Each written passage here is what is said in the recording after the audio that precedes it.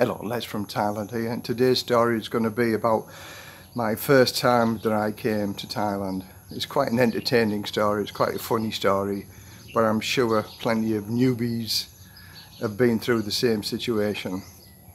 So it all started back in 2002 and when I was going through a divorce, feeling down, feeling a bit fed up and my friend who been come to Thailand for a number of years suggested that me and three others who'd never been to Thailand before all go with him on his on his trip. He, he's been to Thailand many, many, many times.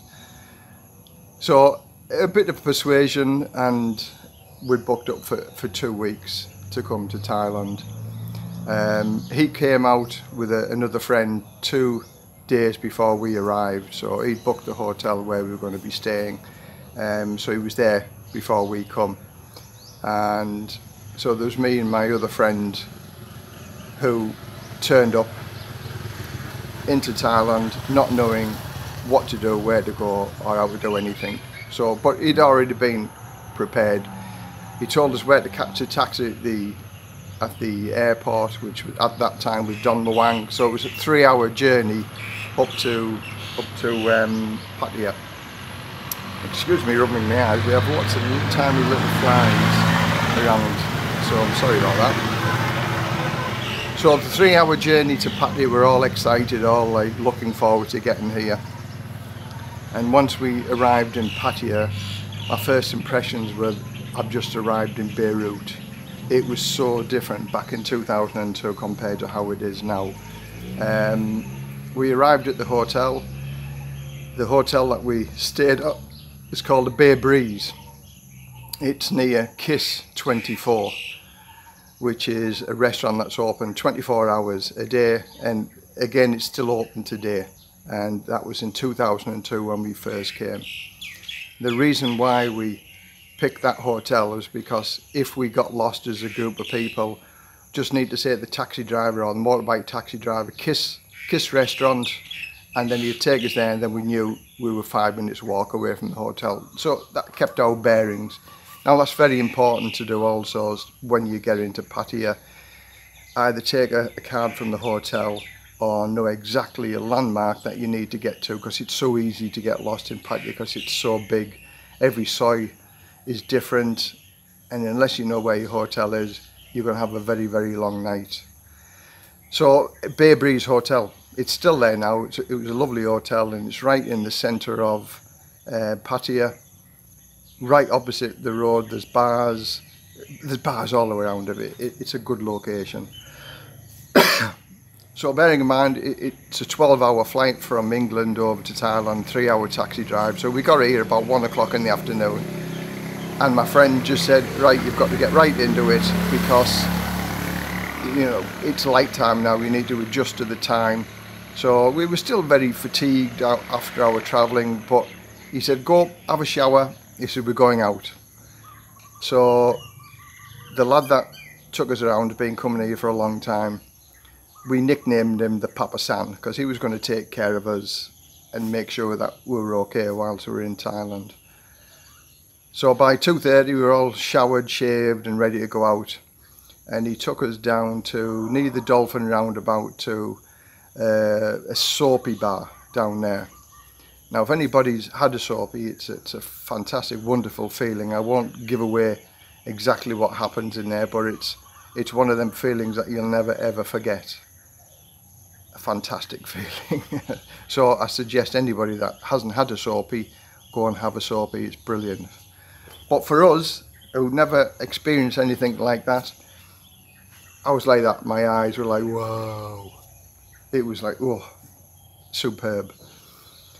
That got rid of the shyness of when you first come over to Thailand because as, as, as a man who's been married for 13 years, it's a little bit daunting that when you come here, the female attention that you get from the minute you virtually get off the plane to all the time you're in Pattaya, it's just like overwhelming. You think, wow, wow, wow, because you just don't get that anywhere else in the world apart from maybe it's the Philippines or something like that. But Pattaya is wow, and it's still like that now.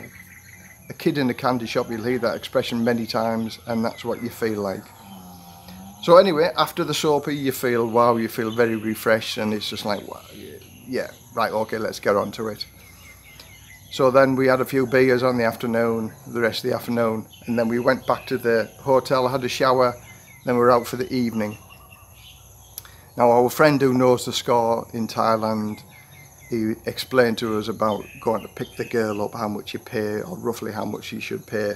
And his one bit of good advice, and I'd still say this even to this day, and I tell anybody that I show around Pattaya or anywhere else, and it, it bears well, is that no matter what happens, no matter what happens, good experience or a bad experience, always pay the girl. Because otherwise you'll get a visit from the boys um, if you don't pay the girls. So I've had a couple of bad experiences through my eight years of being here, but I've always given them the money because then that just saves any altercations later on during your holiday and you don't want to spoil your holiday for the sake of 20 or 30 pounds. So good experience and bad experience, always pay the girl. So anyway, I, I've liked this girl at the bar and so we, we sort of negotiated and bear in mind this is going back to 2002 it was 800 baht for the girl for the night and it was 250 baht bar fine. So I did that and we'd, we'd all got our girlfriends we were all fixed up. And so we all went back to the hotel and we'd arranged to meet at a coffee shop for breakfast in the morning that was to become our debriefing room. So no matter what happened every day, because we'd all split up by the end of the night, um, we always met for breakfast at 10.30 in the debriefing room. That was on Soi 8, so that was, again, five or 10 minutes walk away from the hotel.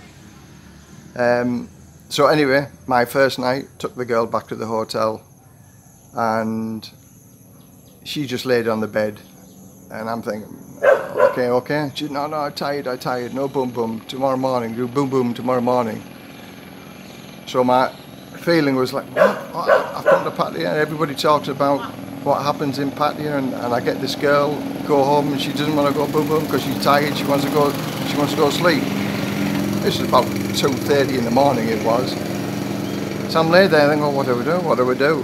Then my friend's message came into me, good experience, bad experience, always pay the girl. So I thought, well, I don't want to argue. I don't want to argue about this. So anyway, goes to sleep, no bum bum.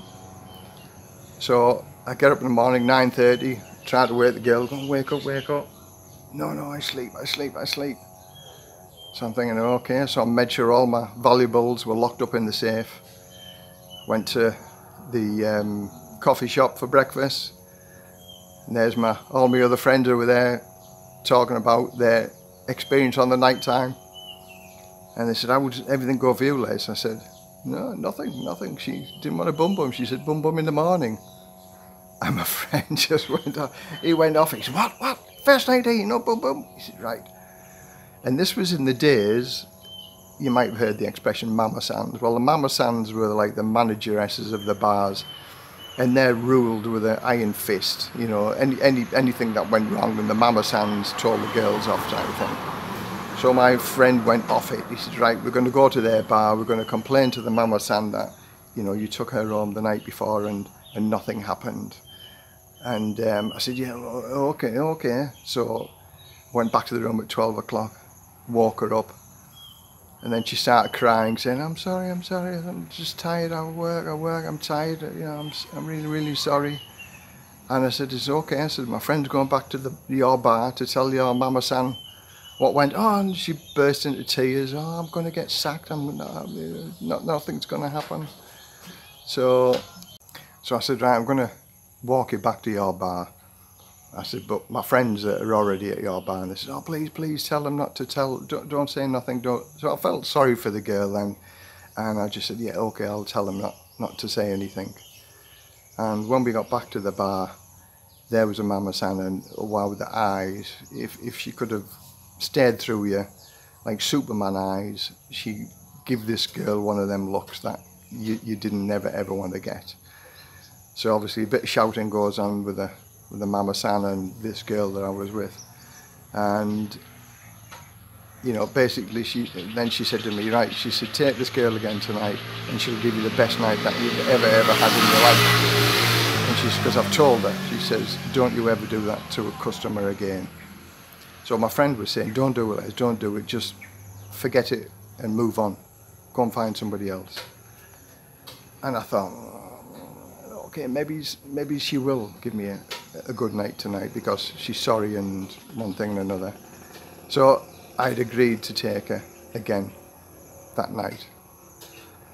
So when me and my friends came away for the afternoon and we had a few drinks elsewhere, he was telling me, Les, you're a fool, don't do it, just stupid, just move on. He said, there's not as if there isn't a choice of people around here. He said, he said, go and give somebody else a try. I said, well, no, I feel sorry for the girl and she was upset and one thing and another. So foolishly, I took her out again on the night. We went out for a meal, some beers, and again, two or three o'clock in the morning, we got home. Exactly the same. Exactly the same. Oh no, boom boom, I'm tired, I'm tired, I'm really, really tired, I'm sorry. We boom boom in the morning. So again, two nights in Pattaya, and it, it just didn't happen. So this time, 8.30 in the morning when I got up, I woke her up and said, okay, there's your money, go. You know, going out, going out. And she wasn't going. She she was um, crying her eyes out. But at the hotel that we were at, the Bay Breeze, the security guard, which my friend knew, Bunsey, he said, if you ever have any problems, Les, go and see Bunsey and he'll sort them out for you. So I went downstairs, had a word with Bunsey, give him 200 baht. He came up the stairs with his big stick and chased her away. So then, 10.30, the debriefing room, everybody looking with, you know, grins on the faces saying, okay, did she give you the best night that you'd ever had in your life? I said, no, same thing, nothing happened. And my friend just went right off it. He said, I cannot believe, Les. He said, two nights in Pattaya. And he said, nothing's happened. He's crazy, absolutely crazy. So he said, but you paid the girl, you paid the girl, yeah. I said, yeah, I paid the girl and I also give Bunsey 200 baht to her out my room in the morning. So that was my first experience of, of Pattaya. It was quite funny, I can look back now and it's so vivid, the memory, because it's there. It, it It's like Thailand, it does this to you. It gives you the memories that you'll never ever forget. Some good memories and some bad memories but it was a lot of fun. But there's many more stories that I can tell out the two weeks that I was in in Pattaya. Um, if you enjoyed the story, give it a thumbs up. If you can associate with the story, write it in the comments below. And even if you don't like it, give it a thumbs down. But I would ask you please subscribe, it helps my channel along. And if anybody's got anything that they want me to, to say or talk about, I'm more than happy to do that. I've been here for eight years. I'm as honest as the day is long. I'll, I'll tell you how it is and how it works here. No bullshit, just truthful. Everything, all, all the stories I've got are all truthful. I don't make anything up. Because why make anything up? There's so many things happen over here. So many stories I could tell people, and I do tell people all the time. So from Les, living the dream in Thailand. Until the next time, bye for now.